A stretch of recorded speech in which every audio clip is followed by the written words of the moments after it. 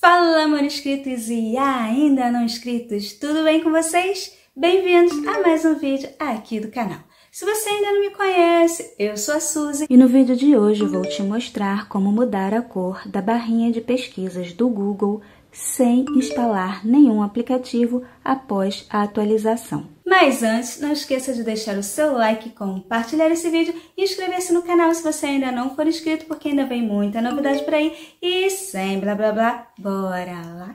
One, two, three, let's go!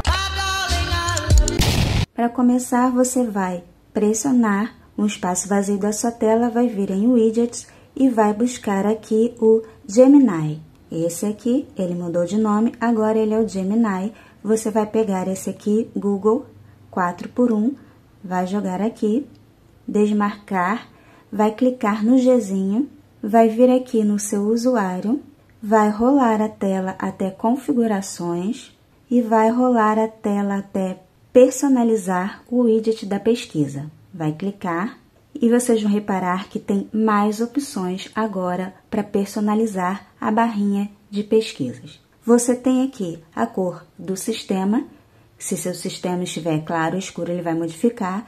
Você pode deixar só claro, só escuro, e aqui dispositivo, que ele vai ficar com a cor baseada na paleta de cores que você escolher para o seu celular.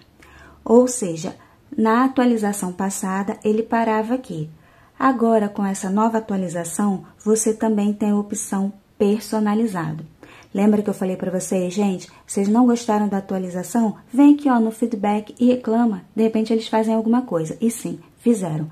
Aí você agora tem a opção personalizado. E olha que maravilha! Você pode escolher vermelho e escolher aqui ó, a saturação.